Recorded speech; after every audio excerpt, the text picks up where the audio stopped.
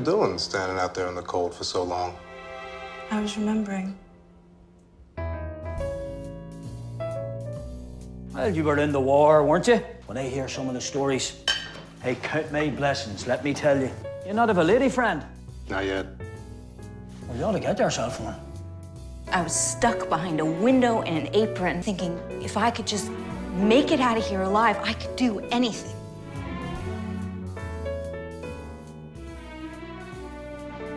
My God, I know you. I'm sorry, but have we met before?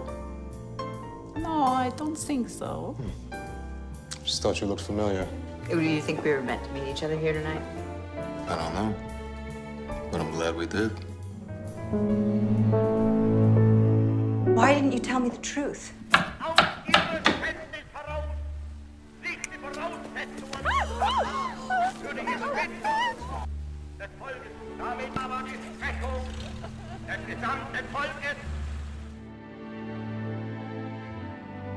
I can't be with you. Not after what you've done. You're the only person who didn't look at me like I'm a monster. Max, you've known me for five hours. And I knew in the first 10 minutes, you knocked me off my feet. Well, maybe I deceived you.